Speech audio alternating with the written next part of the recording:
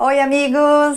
Nutricionista Márcia Gubiani e hoje eu trouxe uma surpresa, uma novidade que vai agregar muito na cozinha terapia funcional.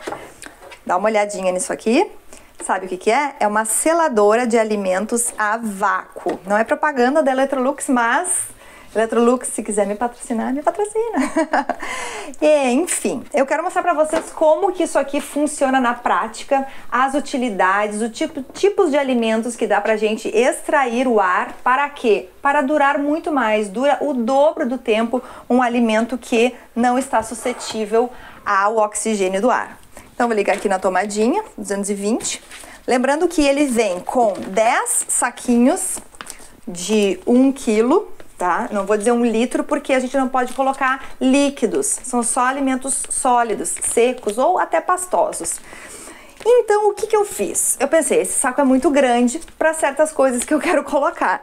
Eu cortei ao meio e fiz uma selagem embaixo para poder usar de um quilo e de meio. Mas primeiro eu quero demonstrar para vocês como que se usa. Em primeiro lugar, vamos pegar o saquinho menor porque eu não vou colocar meio quilo de lentilha, vou colocar 250 gramas aqui no saquinho. Então acompanha aqui comigo. Ó. E vou colocar um dentinho de alho aqui dentro, porque o alho também é um alimento bactericida e também vai largar um gostinho depois de alguns meses ou anos do alimento aqui dentro vai largar um cheirinho gostoso de alho, porque eu particularmente adoro alho. Agora vem aqui comigo, que eu vou mostrar como é que funciona o processo do vácuo. Tá vendo esse caninho aqui, ó? É ele que vai chupar o ar do saquinho, tá? E aqui se faz a selagem. Vamos fechar aqui para mostrar bem. Ele vai fazer um clique pressionando em cada lateral, ó. Cada lateral tem um botãozinho que serve para abrir, mas na hora de fechar tem que dar um uma pressionadinha aqui com o punho, certo? Ou seja, o alimento não pode ficar muito lá na beira. Vou ficar assim mesmo.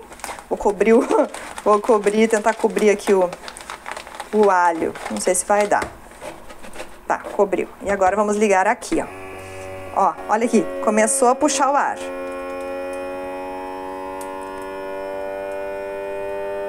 E ele mesmo começou a selar agora, ó, selagem.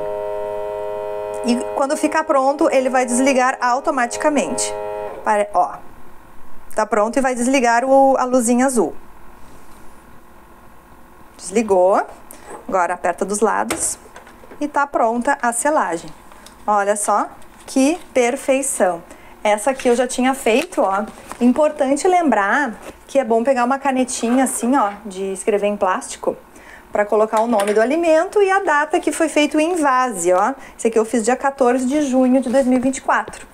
E esse aqui agora eu vou escrever também a data de envase. Isso é ótimo pra gente fazer. Na verdade, eu estou fazendo um teste, né? Eu pretendo abrir, sei lá, daqui a dois anos. Lembrando que o próprio saque, a própria embalagem original tem uma validade de um ano. Então sabe-se que vai dobrar ou aumentar até. Depois de dois anos eu prometo abrir e fazer outro vídeo para ver como é que tá, vou cozinhar direitinho para vocês. Segunda coisa que eu um, que eu invasei aqui dia 14 foi a aveia, tá? A minha aveia laminada, que é um cereal que não pode faltar aqui na minha casa porque eu não consumo trigo. Então a aveia é o carro-chefe da minha dos meu do meu cereal, né? Olha como ele fica bem duro, bem duro mesmo tá? E como aveia é um, é um cereal que eu consumo mais, então abrir isso aqui vou conseguir consumir de uma vez só. E aqui, gente, aí não satisfeito com a minha metadinha aqui do saquinho, eu também fiz uh, saquinhos assim, né, em tipo compridinho, vertical. Como é que eu fiz isso? A gente corta e liga somente a função selagem. Dá para ligar somente a função selagem. Aí abri aqui, mirei bem aqui no centro. Claro, não, aqui, esse que eu já fiz, né? Aí aperta aqui, selou. Aí ele desliga automaticamente. Daí eu selei aqui. E aí eu fiz o meu pacotinho. O que, que eu vou fazer nesses aqui? Esse aqui eu coloquei um mix aqui de pastas de uva, sementinha de girassol e umas castanhas do Pará. Tudo isso para falar para vocês que é muito importante nós termos um método de conservação de alimentos para um estoque de emergência. Uh, agora é junho de 2024, no mês passado, em maio, nós tivemos uma calamidade em muitas cidades do Rio Grande do Sul por conta de uma enchente. Alagou, muitas partes da cidade de Porto Alegre e outras, como Eldorado, Guaíba, Canoas. É, e várias outras, Lajeado também, Arroio do Meio. Então foram muitas pessoas atingidas que não nós não tínhamos o histórico, né, de se preparar para uma calamidade assim. E esse tipo de alimento, ele fica protegido da, pode, digamos assim, pode molhar ele e ele não vai, ele não vai estragar, né? E também ele serve como um depósito de alimentos até para para pegar alguma coisa rápido e sair de casa. Ele, ele se acomoda muito fácil, ele não vai furar. Então tem muita tecnologia assim útil por trás. E esse aqui, esqueci de mostrar para vocês, que eu vou mostrar a receitinha nos próximos vídeos.